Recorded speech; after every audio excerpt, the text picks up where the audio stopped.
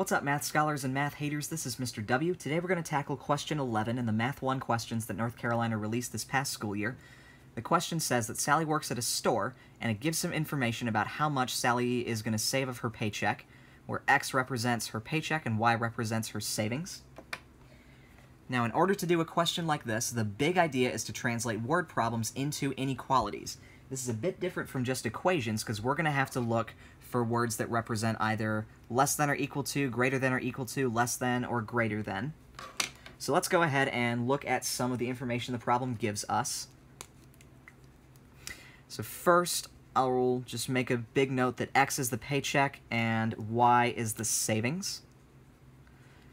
So if I look at my first bullet point, when it says Sally will save, that tells me this is a Y equation because I'm getting the amount she saves from the information in this. I see at least, and at least tells me that y is going to be more than or equal to. So that that's what at least translates to, more than or equal to. If I have at least $5, I could have $5. That would fulfill at least, but I could also have 6, 7, 8, and so on. So y is greater than or equal to $20 more than. Now, more than is something that I translate into addition but when I see half of her paycheck, wait, paycheck. Paycheck is X. So that's going to be 1 half X plus 20.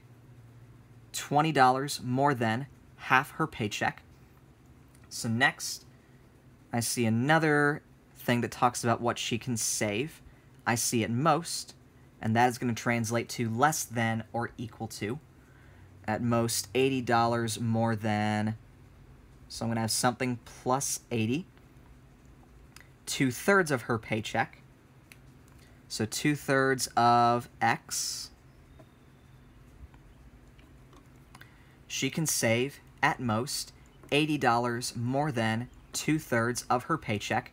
So we've taken all the words in this problem and translated them into something mathematical. And now it says her paycheck each month, so this is X now, is at least more than or equal to 1,200, but no more than, less than or equal to 1,850. All right, so now we have four equations to work with, and I'll underline them each in red. y is greater than or equal to 1 half x plus 20. y is less than or equal to 2 thirds x plus 80. x is more than or equal to 1200, and x is less than or equal to 1850. Now all we have to do is look for an answer choice that matches these four equations. I can see A on my screen right now, so I'll I will take care of that. x is less than or equal to half of y plus 20. That looks really sim similar to this first equation, but the sign's in the wrong direction, and we have x and y that have switched places. So just based on that first equation, I know my answer won't be A. So I move on to choice B.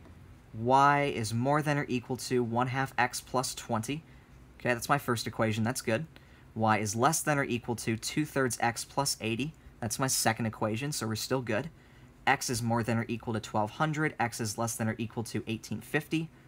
Okay, I am really liking choice B so far, but I do want to knock out C and D just to be sure. So choice C, y is less than or equal to 1 half x plus 20. Oh, wait, less than, this was greater than or equal to. If there's even one bit of difference, it can't be the answer. And which actually makes this a little easy because I can just find one bit of difference in an answer choice and say that it's not it.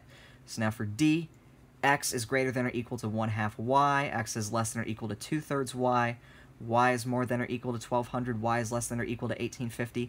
This all looks really good, except our x's should be y's, and our y's should be x's. Choice D is out, choice B is the only answer left that matches all four of the equations that we constructed from the information in the problem.